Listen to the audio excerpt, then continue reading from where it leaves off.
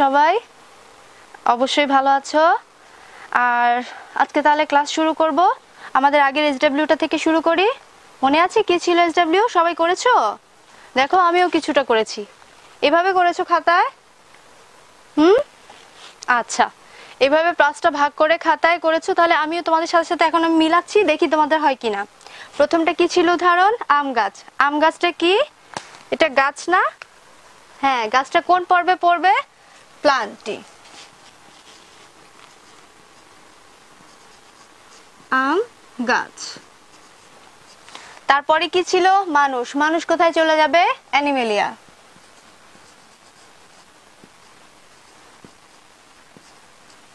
তারপরে কি ছিল? স্পাইরোগাইরা, শৈবাল কোথায় চলে যাবে?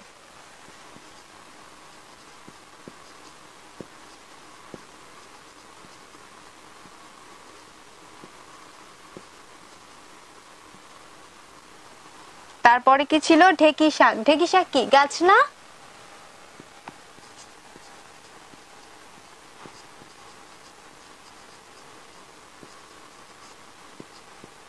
তারপরে কি ছিল? রাইজোবিয়াম। রাইজোবিয়াম কোথায়? একদম প্রথম পর্ব।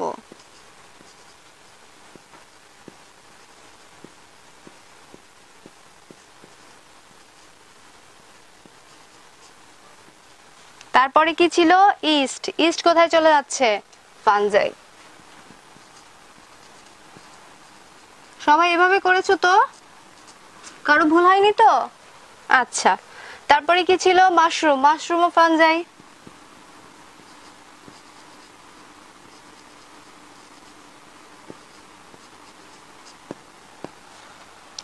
তারপরে কি ছিল? মস, গাছ।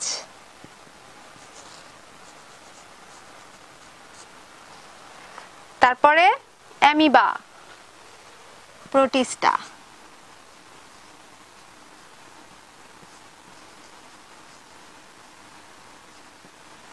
তারপরে ইউগ্লেনা সেটাও প্রোটিস্টা।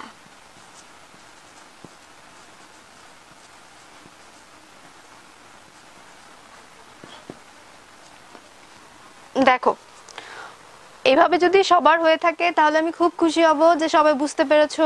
তারপরে আমি মনে হয় যে কারও কারও কিছু ভুল হয়েছে, যাদের ভুল হয়েছে, তারা অবশ্যই এখান থেকে দেখে সুন্দর করে খাতায় তুলে ফেলো। তাহলে আর ভুল হবে না, মনে থাকবে। ঠিক আছে? এই জন্যই আমি করে দিলাম। আমি মুছে দিচ্ছি। আজকের পড়া তাহলে আমরা শুরু করব। পড়া শুরু করার আগে একটু বলে নেই। বিজ্ঞান হচ্ছে আসলে এমন একটা জিনিস, তুমি যত চিন্তা করবে, তত সহজে জিনিসটা বুঝতে পারবে। এটা শুধু শুধু না বুঝে মুখস্থ করার চেষ্টা করবে না। আগে একটু বুঝবে, তোমার আশেপাশের পরিবেশ থেকে দেখবে, তোমার আশেপাশে কি ঘটনা হচ্ছে। তোমার প্রথম অধ্যায় পড়েছো না? বিজ্ঞান কি? আমাকে আগে পরীক্ষা করতে হবে, বিচার বিশ্লেষণ করতে হবে, তারপরে উপাত্ত নিয়ে আমাকে অর্থটা সঠিকটা জানতে হবে, তাই না? ঠিক তেমনি আমাদের যে বিজ্ঞানের যতগুলো আমরা চ্যাপ্টার পড়ছি, তোমরা এটা নিয়ে একটু চিন্তা করবে, ভাববে, আশেপাশে পরিবেশে যে যা আছে তার সাথে মিলানোর চেষ্টা করবে যে হ্যাঁ ওখানে এমন ঘটছে কিনা বা কেন ঘটছে না। বিজ্ঞান শুরুই হয়েছে কিন্তু এই কেন শব্দটা থেকে। তোমরা কেনর উত্তর খুঁজতে খুঁজতেই দেখবে যে বিজ্ঞানের এই অধ্যায় বা যে কোনো টপিকস তোমরা বিজ্ঞানের পরও খুব সুন্দরভাবে বুঝে ফেলবে। কেনর উত্তর খুঁজবে? কেন ভাগ করা হয়েছে পাঁচটি শ্রেণীতে? জীবজগৎকে কেন ভাগ করা হয়েছে? গাছ কি? কীভাবে কি হচ্ছে? কোন গাছ কেমন? কোন প্রাণী কেমন? এভাবে আস্তে আস্তে নিজেরা চিন্তা করবে, দেখবে অধ্যায়টা এত সহজে বুঝে যাবে এবং খুব মজা পাবে। বিজ্ঞান কিন্তু খুব মজার একটা সাবজেক্ট শুধু শুধু মুখস্থ করার কিচ্ছু নেই এখানে। শুধু মুখস্থ করবে, একদম ভুলে যাবে। ঠিক আছে? একটু মজা নিয়ে করার চেষ্টা করবে, দেখবে খুব সহজেই বুঝতে পারবে। যেমন এখন আমি যেটা কালকের অধ্যায়ে ছিল কি? আমরা গাছ নিয়ে কথা বলেছিলাম, অপুষ্পক উদ্ভিদ, সপুষ্পক উদ্ভিদ। পেজ নাম্বার দেখো, পেজ হচ্ছে চোদ্দ নাম্বার। সবাই খোলো। আমি তখন কি করেছিলাম? অপুষ্পক আর সপুষ্পক উদ্ভিদের সংজ্ঞা দিয়েছিলাম আর উদাহরণ দিয়েছিলাম। সংজ্ঞাটা দেখেছ? উদাহরণটাও দেখেছ? তোমরা কি বাসায় গিয়ে কেউ চিন্তা করেছ কোন গাছটার ফুল হয়, কোন গাছটার ফল হয় না? দেখি তো আমি করতে পারি কিনা। করেছ? যদি কেউ করে থাকো, খুবই খুশি হব আমি। যে হ্যাঁ অবশ্যই সে বিজ্ঞান পড়াটা নিয়ে একটু চিন্তা করতেছে, তার আগ্রহ আছে। আর যারা করনি, তারা ধীরে ধীরে চিন্তা করা শুরু করো। তাহলে দেখবে বিজ্ঞানটা কত সহজে, কত ইজিলি বুঝতে পারবে। ঠিক আছে? তো আজকে আমি সপুষ্পক আর অপুষ্পক উদ্ভিদ নিয়ে কথা বলব, ঠিক আছে? আচ্ছা প্রথমে অপুষ্পক উদ্ভিদটা ধরি। অপুষ্পক উদ্ভিদ কাকে বলে মনে আছে? হ্যাঁ যে গাছে ফুল, ফল হয় না। আমি সংজ্ঞাটা আবার লিখি।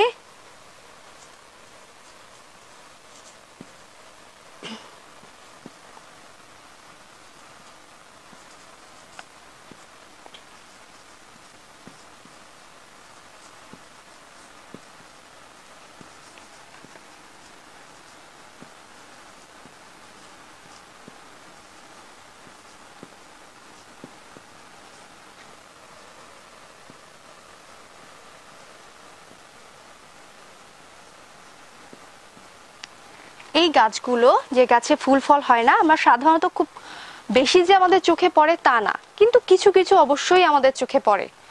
ঠিক আছে? একটু খেয়াল করলে আমরা দেখতে পারব এমন অনেক গাছ আছে যাদের ফুল ফল হয় না। ঠিক আছে? তো এর মধ্যে খুব সহজ একটা উদাহরণ আমি বলি। তোমরা শ্যাওলা দেখেছ? পানির মধ্যে যে সবুজ সবুজ শ্যাওলা হয়, পা পড়লে পিছলে যায় পা। হ্যাঁ শ্যাওলা একরকম হচ্ছে অপুষ্পক উদ্ভিদ। এই উদ্ভিদের ফুল হয় না। বুঝতে পেরেছ? তারপরে সিমেন্টের দেয়াল দেখেছ? অনেক পুরানো সিমেন্টের দেয়ালের গায়ে সবুজ রঙের একদম হালকা একটা ঘাসের আবরণ হয়। ছোট ছোট কিছু গাছ হয়। হ্যাঁ ওই গাছগুলো হচ্ছে অপুষ্পক উদ্ভিদ। এদের ফুল হয় না। এদের খুব সুন্দর একটা নামও আছে। এদের নাম হচ্ছে ফার্ন। ঠিক আছে? আচ্ছা। তো কিছুটা তো বুঝতে পেরেছ কোন গাছগুলোর ফুল হয় না? হ্যাঁ রাইট। আচ্ছা তাহলে আমরা এখন এই অপুষ্পক উদ্ভিদের মনে রাখার জন্য বৈশিষ্ট্যগুলো খুব ভালোভাবে দেখব, ঠিক আছে? প্রথম কি হবে বৈশিষ্ট্য? এখানে দেয়া আছে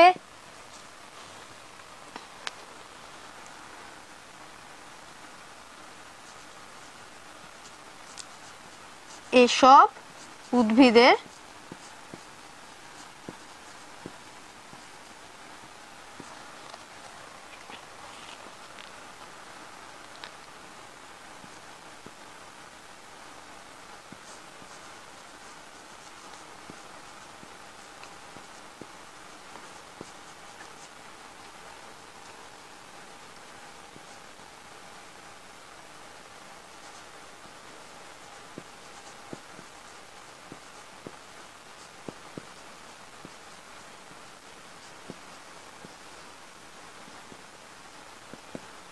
এসব উদ্ভিদের কিছু সংখ্যক গাছে আমি কিছু সংখ্যক কথাটা উল্লেখ করেছি।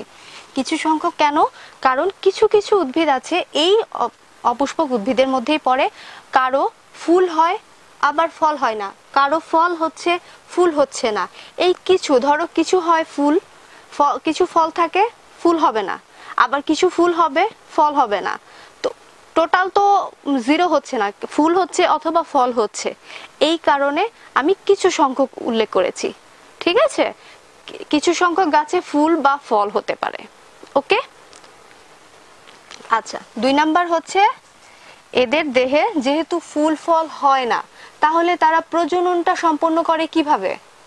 প্রজনন মানে বংশ বিস্তার করে কি করে? অবশ্যই বংশ বিস্তার করবে, তারা জীব। তাই না? তাদের জীবন আছে। তারা স্পোর বা রেনুর মাধ্যমে বংশ বিস্তার করে। কি?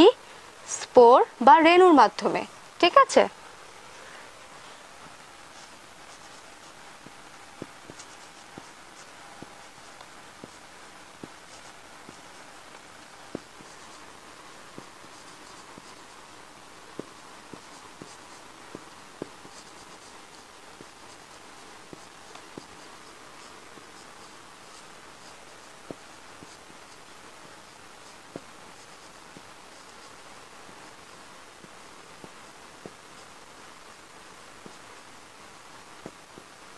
আচ্ছা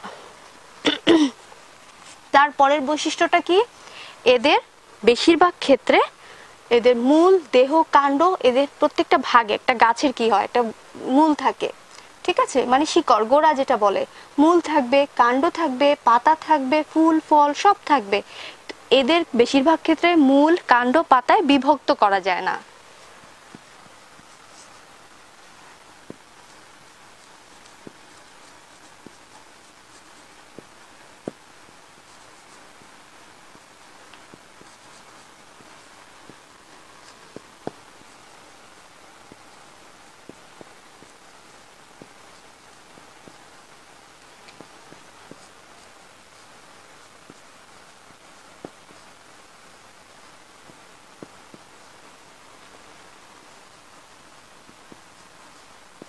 না।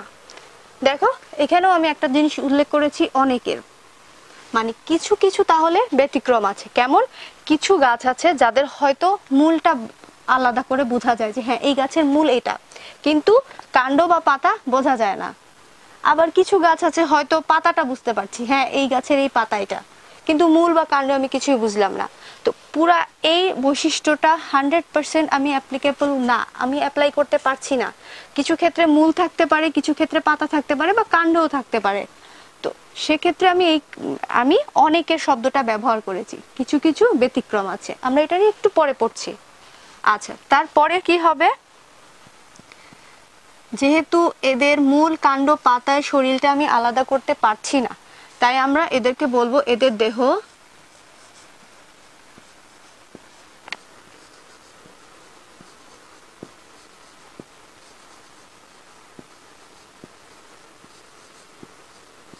সমাঙ্গ দেহী সমাঙ্গ দেহী জিনিসটা কি? সমাঙ্গ দেহী হচ্ছে সমান অঙ্গ যার।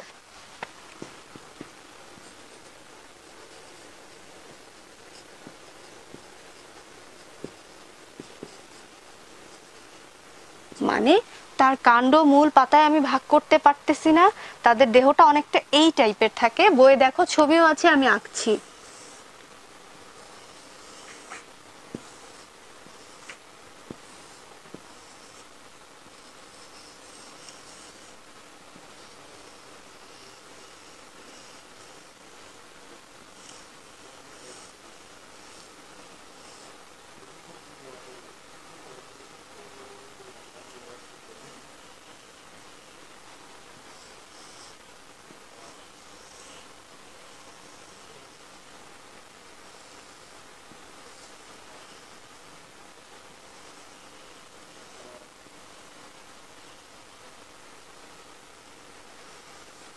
এই টাইপের দেখো, এখানে কোনো কিছু।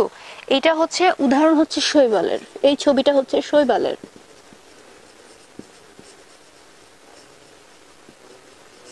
শৈবালের আরেকটা নাম আছে, সেটা কি? স্পাইরোগাইরা। মনে আছে?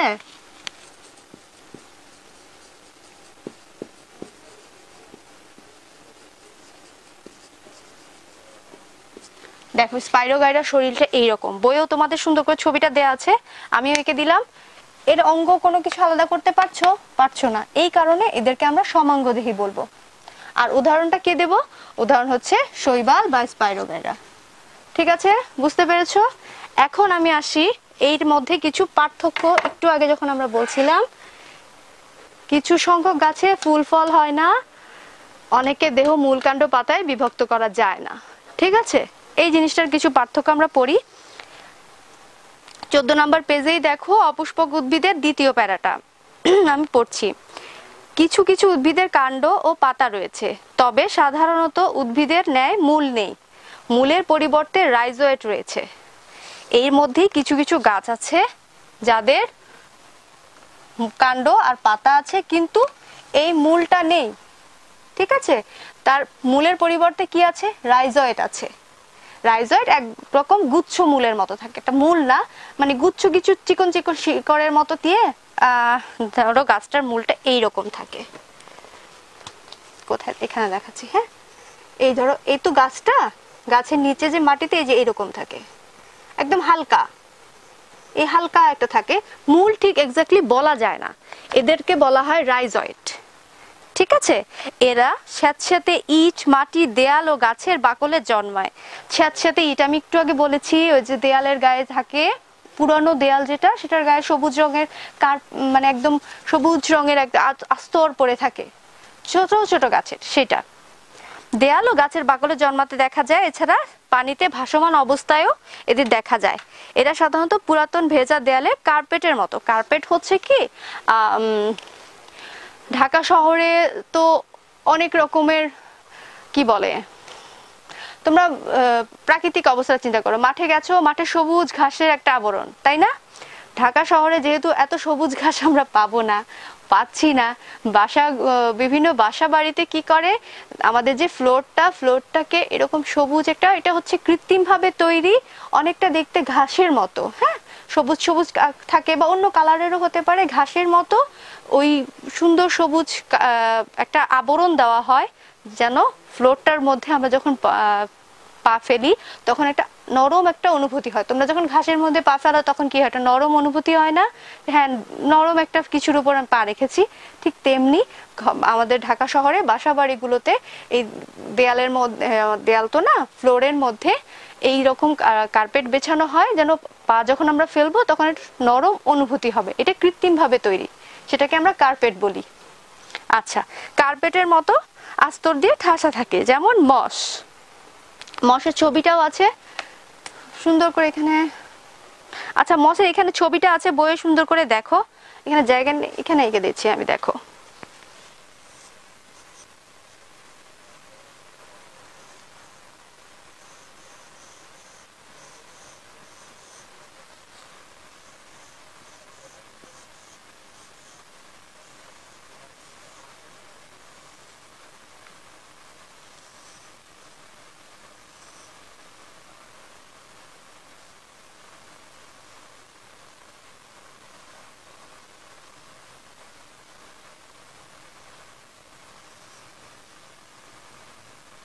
এই যে, এই টাইপের একটা গাছ থাকে।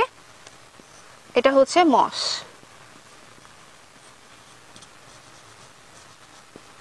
ঠিক আছে? দেখো, এটার আমি পাতা আলাদা করতে পারছি, কাণ্ড এখানে আলাদা করতে পারছি, কিন্তু এই মূলটা আমি আলাদা করতে পারছি না।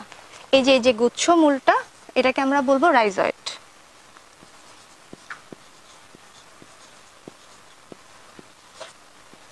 ঠিক আছে?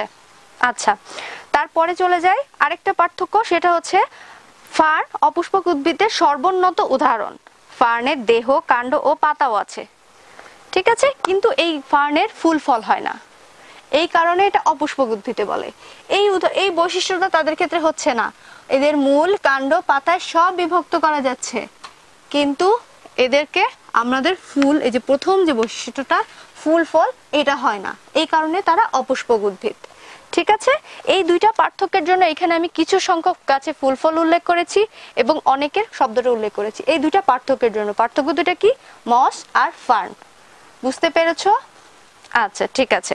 তাহলে আমার মনে হয় অপুষ্পক উদ্ভিদটা মোটামুটি পড়া হয়ে গেছে। আমরা এবার সপুষ্পক উদ্ভিদে যাব।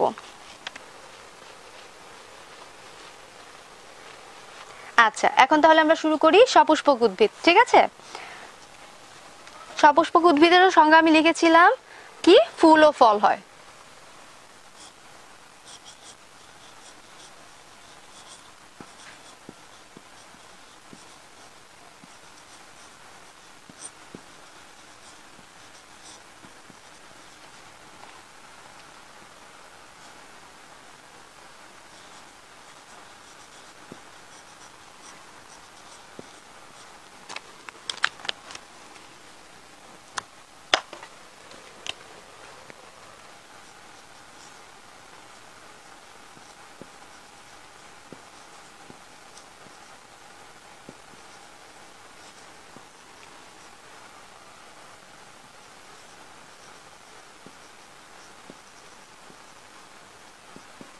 উদাহরণ সেদিন দিয়েছিলাম। কি ছিল উদাহরণ? মরিচ গাছ। মনে আছে?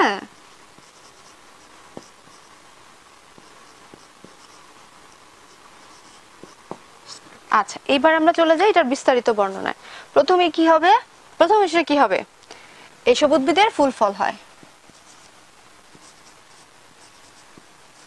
এসব উদ্ভিদের ফুল ও ফল হয়। এখানে এই ফলটা একটু দাগ দিয়ে রাখছি, কারণ এখানে কিছুটা পার্থক্য অপুষ্পক উদ্ভিদের মতো আমি পরে বলছি। এসব উদ্ভিদের ফুল ও ফল হয়। আর অপুষ্পক উদ্ভিদে কি ছিল? এদের মূল কাণ্ড পাতায় বিভক্ত করা যায় না। আর সপুষ্পক উদ্ভিদের ক্ষেত্রে এদের মূল কাণ্ড পাতায় বিভক্ত করা যায়। এদের দেহ, মূল, কাণ্ড ও পাতায় বিভক্ত করা যায়। তাহলে এটা একটা পরিপূর্ণ উদ্ভিদ। তারপরের বৈশিষ্ট্য হচ্ছে, এদের দেহে অত্যন্ত উন্নত ধরনের পরিবহন কলা আছে।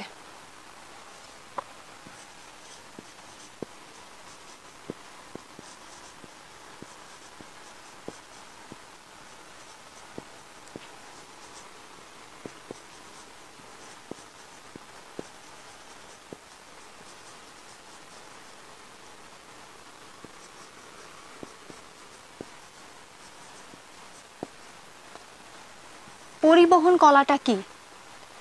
পরিবহন কলা হচ্ছে উদ্ভিদ যখন শিকড় দিয়ে তার প্রয়োজনীয় পানি এবং খনিজ টেনে নেয়, তখন তার সারা শরীরে প্রত্যেকটা গাছের পাতায় তার প্রতিটা অঙ্গে এই পুষ্টিটা কি করে পৌঁছায়? এই পরিবহন কলার মাধ্যমে পৌঁছায়। তারা পরিবহন করে সারা উদ্ভিদের তার প্রয়োজনীয় পুষ্টিটা পৌঁছে দেয়। তো এই গাছের যে উদ্ভিদ, এই ধরনের যে উদ্ভিদ, তাদের উন্নত পরিবহন কলা আছে, তার মানে তারা সমস্ত গাছে খুব পরিপূর্ণভাবে পুষ্টিটা পৌঁছে দিতে পারে। ঠিক আছে? আচ্ছা এখন আমি এই যে সপুষ্পক উদ্ভিদের কথা বলছি সপুষ্পক উদ্ভিদের পরিবারটা অনেক বড়, এই শ্রেণীটা অনেক বড় এবং এই শ্রেণীতে কিছু কিছু পার্থক্য আছে। যেমন আমি একটু আগে বললাম, এই যে ফুল আর ফলে আমি দাগ ফলে আমি দাগ দিয়েছি ফুল আর ফলের কাছে। ঠিক আছে? ফুলেও একটা দাগ দিয়ে দিই। দেখো, এই যে জায়গাটা, এই জায়গাটার কিছু পার্থক্য আছে।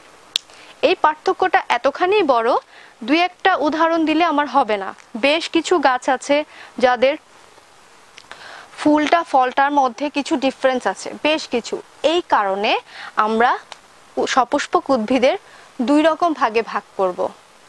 দুই রকম ভাগ- কি? নগ্নবীজী উদ্ভিদ, আরেকটা হচ্ছে আবৃত আবৃতবীজী উদ্ভিদ। ঠিক আছে? আমি এটা মুছছি, আমি পরবর্তী স্টেপে চলে যাচ্ছি।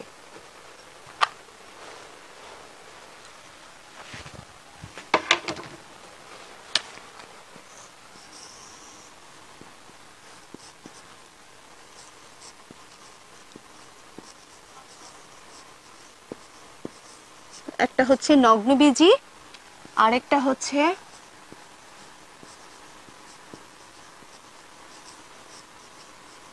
আবৃতবীজী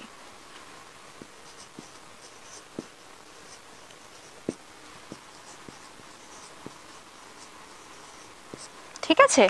সপুষ্পক উদ্ভিদেরই দুইটা ভাগ, একটা হচ্ছে নগ্নবীজী উদ্ভিদ, আরেকটা হচ্ছে আবৃতবীজী উদ্ভিদ। ঠিক আছে? এখন আমি জানি নগ্নবীজী জিনিসটা কি, আর আবৃতবীজী বা কি। আচ্ছা প্রথমে আমি তোমাদেরকে আবৃতবীজীটা বলি, তাহলে তোমাদের নগ্নবীজীটা বুঝতেও বুঝ- সুবিধা হবে। আমরা একটা ফল চিন্তা করি যে কোনো একটা ফল। এখন কি কাল আসতেছে? গরমকাল আসতেছে। প্রধান ফল কি? আম। আম যখন আমি দেখছি,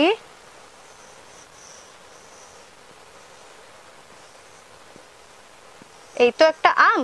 এই আমের ভেতরে কি থাকতেছে? একটা আটি থাকতেছে। তার ভিতরে ছোট্ট একটা বীজ থাকতেছে, তাই না? আম খেয়েছো? আমের আটি দিয়ে বাসি বাজিয়েছো? অবশ্যই, এটা সবাই করে। এই যে আমটা, আমের প্রথমে কি থাকছে? এই একটা আবরণী চামড়া থাকতেছে, তাই না? আমরা এই আবরণটা ফেলে দিচ্ছি। ফেলে দিয়ে ভেতরে যে মাংসল আবরণটা, এই যে এই পাশটা, আমরা এই পাশটা খাচ্ছি। খাবার পরে ভেতরে একটা আটি পাচ্ছি, এই রকম শক্ত একটা খোলসে। সেই খোলসের ভেতরে আমরা বীজটা পাচ্ছি। সাদা রঙের একটা বিচি পাওয়া যাচ্ছে, বীজটা পাওয়া যাচ্ছে। এই বীজটা যখন আমি লাগাবো, তখন আমার চারা গাছ হবে, তাই না? এটা সবাই তোমরা জানো। তাহলে এই যে বীজটা কীভাবে আছে? ফলের ভেতরে একদম আবৃত অবস্থায় আছে না? ঢাকা আছে না? তোমরা কি খালি দেখতে পাচ্ছ খালি চোখে এটা? যখন আমি আমের মাংস অংশটা খেয়ে নেব, শক্ত আবরণীটা সরাবো, তারপরে ছোট্ট সাদা একটা বীজ আমি দেখতে পাবো। একদম ঢাকা আবৃত অবস্থায় আছে, তাই না? এইটাই হচ্ছে আবৃত বীজি এই যে বীজটা বীজটা একদম আবৃত করা আছে, ঢাকা আছে, এই কারণে এই বীজটা হবে আবৃত বীজি বুঝতে পারছ? এই বীজটা আবৃত। আর তাহলে নগ্নবীজী উদ্ভিদে কি করব? নগ্নবীজী উদ্ভিদ মানে? বুঝতেই তো পারছ, নগ্ন বীজি বীজটা আবৃত নেই, খোলা। এরকম ফলের মধ্যে ঢাকা অবস্থায় তারা থাকে না।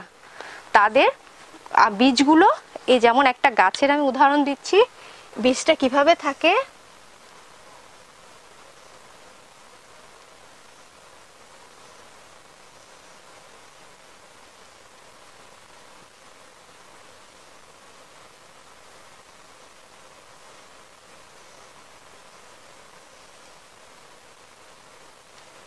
দেখো এই যে বীজ, এটা খোলা না?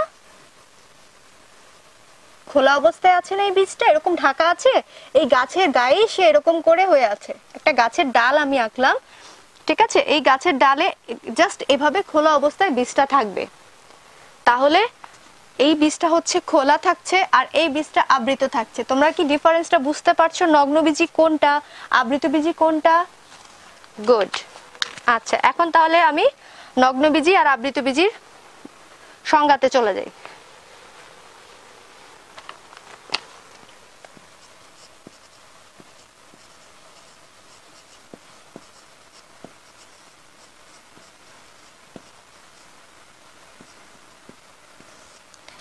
এই উদ্ভিদের ফুলে ডিম্বাশয় থাকে না। এই কারণে এ উদ্ভিদের ফুলে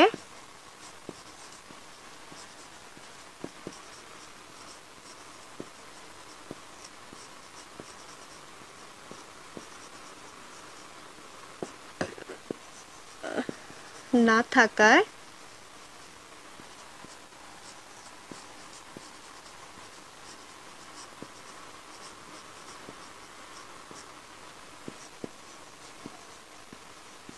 নগ্ন থাকে।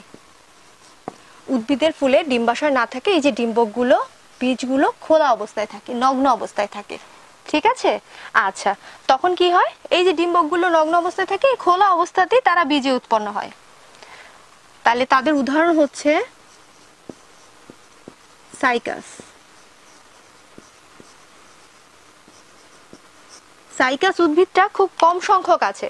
আমি জানি না তোমরা এখন পর্যন্ত সাইকাস উদ্ভিদ কেউ দেখেছ কিনা বাট সাইকাস উদ্ভিদটা সাধারণত চোখে পড়ে না, পরিবেশে খুব বেশি এই গাছটা নেই, খুবই কম।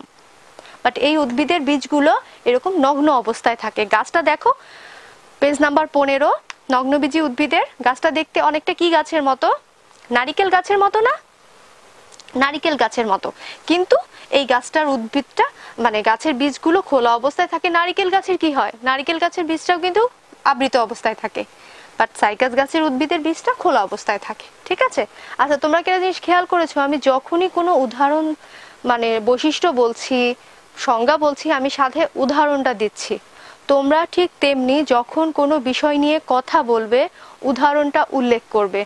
উদাহরণটা উল্লেখ করা মানে হচ্ছে তোমার সেই কথাটার যুক্তিটা যুক্তিটা প্রকাশ পাচ্ছে যে হ্যাঁ আমার যে কথাটা, তার যুক্তি হচ্ছে এরকম একটা উদাহরণও আছে, এইরকম একটা গাছও আছে। যেমন আমি বললাম, নগ্নবীজি উদ্ভিদ, ডিম্বাশকগুলো খোলা থাকে, কি বলে? হয়। হ্যাঁ হয়তো উদাহরণ দেখো, সাইকাস গাছই তো এমন। ব্যাস, আর কোনো কিছু বলা থাকবে না। হ্যাঁ অবশ্য ওর কথার অবশ্যই একটা যুক্তি আছে, যুক্তির সাথে সে উদাহরণও দিয়েছে।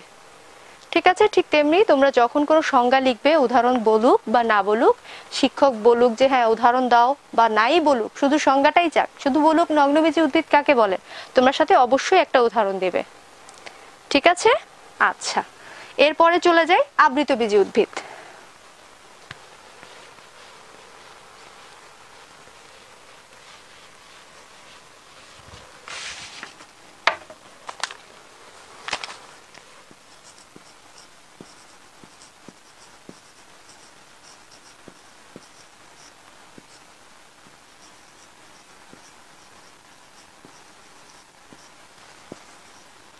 আচ্ছা। এই উদ্ভিদে অবশ্যই তাহলে কি হচ্ছে? ডিম্বাশয়টা কি ঢাকা থাকছে? ডিম্বকগুলো ডিম্বাশয়ের ভেতরে ঢাকা থাকতেছে। এর আগে কি ছিল? ডিম্বাশয় না থাকায় তাদের বীজগুলো বা ডিম্বকগুলো নগ্ন অবস্থায় ছিল। আর এই উদ্ভিদের অবশ্যই ডিম্বাশয় আছে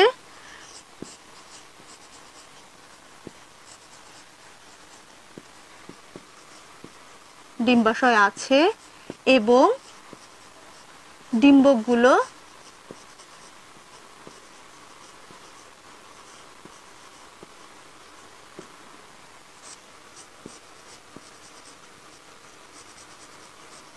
ডিম্বাশয় আবৃত অবস্থায় থাকে।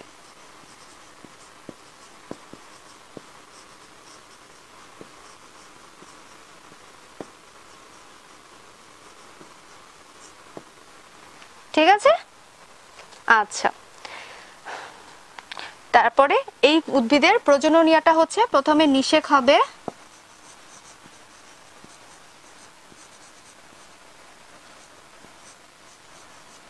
এবং নিষেকের পর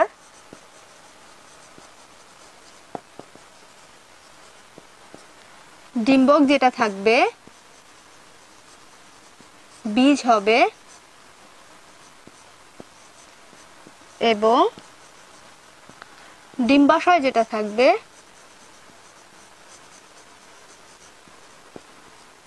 ফলে পরিণত হবে।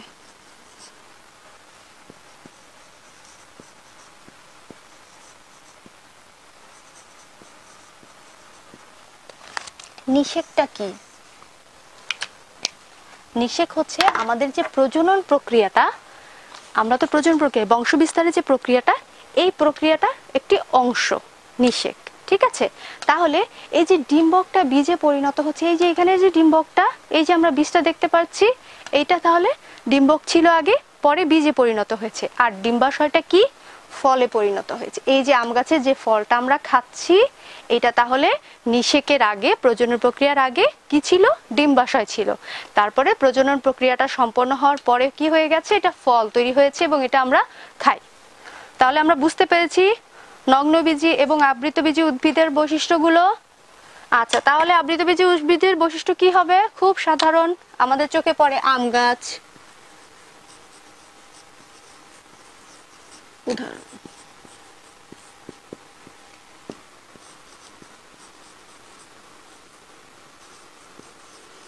আম গাছ, জাম গাছ, সুপারি গাছ এক্সেট্রা এক্সেট্রা এখন কি তোমরা ক্লিয়ার হয়েছো? আবৃত বীজি কি, নগ্ন বীজি কি, সপুষ্পক উদ্ভিদ কি, অপুষ্পক উদ্ভিদ কি? আরেকবার আমি একটু রিভাইজ দিয়ে দেই। অপুষ্পক উদ্ভিদ কি? আচ্ছা আমরা এবার রিভাইজটা দেই। অপুষ্পক উদ্ভিদ কি? যেসব উদ্ভিদের ফুল ও ফল হয় না, কিছু কিছু ক্ষেত্রে ব্যতিক্রম আছে, কিন্তু বেশিরভাগই ফুল ও ফল হয় না। তারা অপুষ্পক উদ্ভিদ, এদের দেহে মূল কাণ্ড পাতায় বিভক্ত করা যাচ্ছে না, এরা সমাঙ্গদেহী। আচ্ছা আর সপুষ্পক উদ্ভিদ কি এদের অবশ্যই ফুল ফল হবে? মূল কাণ্ড পাতায় বিভক্ত করা যাবে মানে তার একটা পরিপূর্ণ গাছ। অপুষ্পক উদ্ভিদের সাথে সপুষ্পক উদ্ভিদের কিছু পার্থক্য তো অবশ্যই আছে। এটা বুঝতে পারছ? তারপরে হচ্ছে নগ্নবীজি কি? যাদের বীজগুলো নগ্ন, খোলা অবস্থায় থাকবে, ঢাকা থাকবে না। আর আবৃত বীজি কি? তাদের ডিম্বকগুলো অবশ্যই ডিম্বাশয়ের মধ্যে ঢাকা থাকবে। নিষেক প্রক্রিয়া হবে, নিষেকের পরে চেঞ্জ করে ডিম্বকটা হবে বীজ আর ডিম্বাশয় হবে ফল। বুঝতে পেরেছ? ক্লিয়ার আচ্ছা তাহলে আজকে এ পর্যন্ত থাকবে। আমি তোমাদেরকে এইচডাব্লিউ দিয়ে দিচ্ছি। এইচডাব্লিউটা খুবই সহজ। লিখে দিচ্ছি আমি।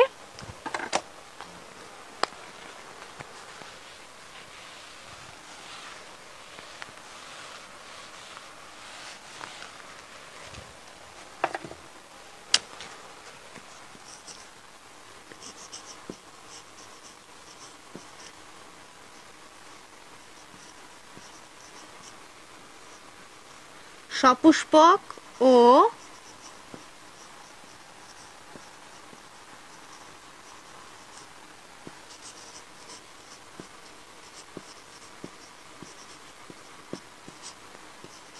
উদাহরণ সহ তিনটি পার্থক্য।